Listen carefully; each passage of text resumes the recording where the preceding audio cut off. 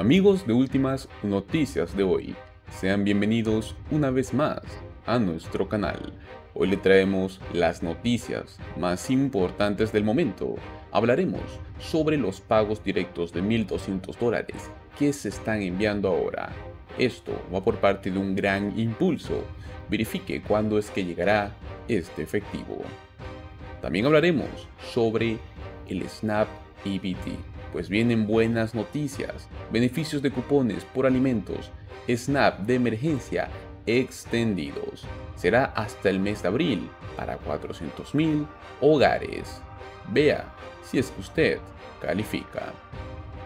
Una vez más los invitamos a que se suscriban a nuestro canal, activen la campanita, compartan este contenido, claro si es que es de su grado.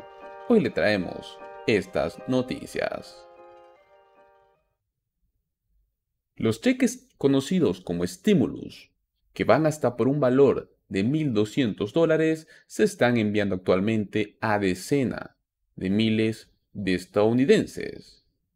Estos pagos son parte de los dos programas de cheques de estímulos más conocidos en California, lanzados en el año 2021. Estas se conocen como las iniciativas Golden State tenemos el Golden State 1 y el Golden State 2, los cuales otorgan hasta 1.200 y 1.100 dólares respectivamente en ayuda a los residentes elegibles. La Junta de Impuestos de Franquicias de California afirmó a The Sun que la mayoría de los últimos pagos se enviarán por correo a partir del 20 de marzo, o sea que actualmente ya se están enviando estos cheques de estímulo. En tanto, los depósitos directos se emitieron el viernes 18 de marzo. En esta ronda de cheques, el Estado está enviando aproximadamente 14.100 pagos de Golden State por un valor de casi 10 millones de dólares y 47.700 pagos por parte del Golden State 2 por un valor de casi 35 millones de dólares. Los invitamos a que por favor vean si ustedes son verificados para este efectivo que está llegando a decenas y miles de hogares. Ahora empezaremos a hablar sobre los beneficios de cupones de alimentos SNAP de emergencia, los cuales han sido extendidos hasta abril para 400.000 hogares.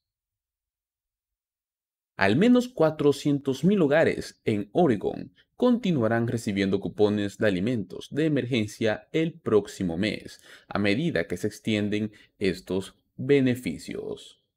Los funcionarios estatales dicen que los beneficios de SNAP, que es el programa de asistencia nutricional suplementaria, recibirán la asignación de emergencia el día 12 de abril.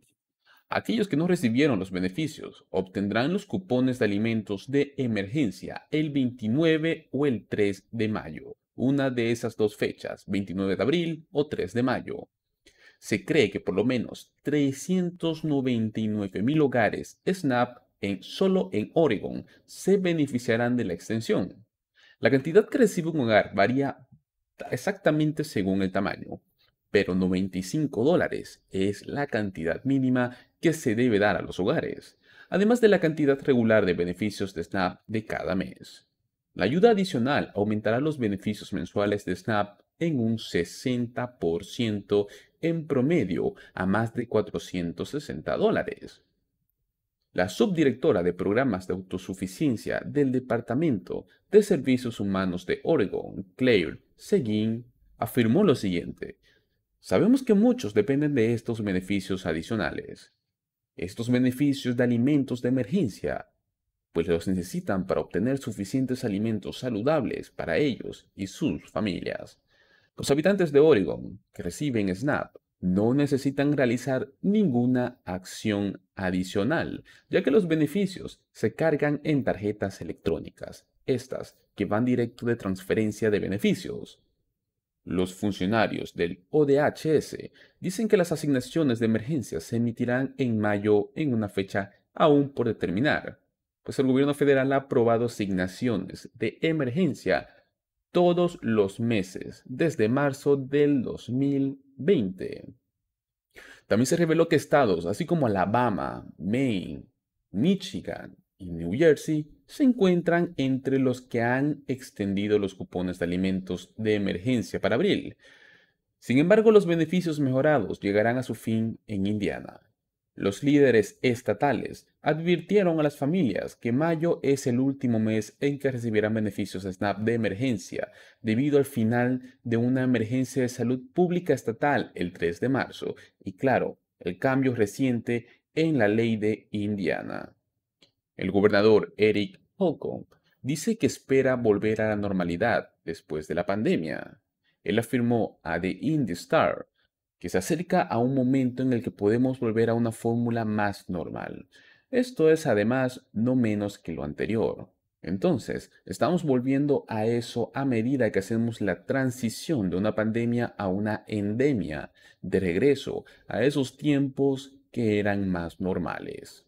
Pero Emily Waker Bryant, directora ejecutiva de Feeding Indianas, criticó esta medida ella afirmó que no es el momento de revertir este importante programa para ayudar a las familias de Husser a acceder a los alimentos, pues los Husser todavía están siendo exprimidos por todos lados. Y la legislatura de Kentucky también votó para anular el veto del gobernador Andy Beshear a una resolución que puso fin al estado de emergencia del COVID-19. Significa que podría poner en riesgo 50 millones de dólares tan solo en beneficios de Snap, lo cual podría afectar prácticamente a más de 250 mil hogares. Y para complementar esta noticia de estímulos económicos, existe un pago por valor de hasta 500 dólares que se envían a 500 mil estadounidenses de bajos ingresos. Estos pagos directos por valor de 500 son fondo parte del programa Essential Employment Premium Pay, el cual proporciona un total de 460 millones de dólares solo en ayuda a trabajadores elegibles en Massachusetts. Habrá dos rondas de pagos. Esto va a ir con el primer conjunto por un valor total de 250 millones de dólares. El primer tramo está saliendo exactamente ahora y se seguirá enviando por correo a 500.000 residentes durante la próxima semana. ¿Quién califica para este pago? Para ser elegible para este cheque de 500 dólares, debe haber sido residente de Massachusetts en el año 2020, exactamente, cuando empezó la pandemia del coronavirus, y claro, haber trabajado. Los residentes de Massachusetts serán elegibles para pagos de primera ronda. Si, según las declaraciones de impuestos de Massachusetts presentadas en el 2020, afirman sus ingresos laborales fueron de al menos 12.750 dólares anuales. O sea que en todo ese año, por lo menos hayan generado esa cantidad de dinero. Esto es el equivalente a trabajar 20 horas semanales durante 50 semanas con un salario totalmente mínimo. Esto a partir del 2020. Los ingresos deben estar 300% por debajo del nivel federal de pobreza. Esta cantidad exacta dependerá del tamaño también de su hogar, que es el siguiente. Tienen el hogar de 1, hogar de 2, 3, 4, 5, 6, 7 y 8. El mínimo, que es el hogar de 1, es un ingreso total en el 2020 al 300% del FPL, el nivel de pobreza federal de 38.280 dólares. Y el máximo de 8, que es en el 2020 al 300% del FPL de 132.360 dólares anuales. Aquellos que obtuvieron compensación por desempleo también en el 2020 no califican para el programa. Los trabajadores del Poder Ejecutivo del Commonwealth tampoco serán elegibles si recibieron o ellos están en línea para recibir pagos únicos que tengan que ver o estén relacionados con el COVID. Los residentes elegibles recibirán cheques automáticos por correo. No tendrán que tomar ningún tipo de medida.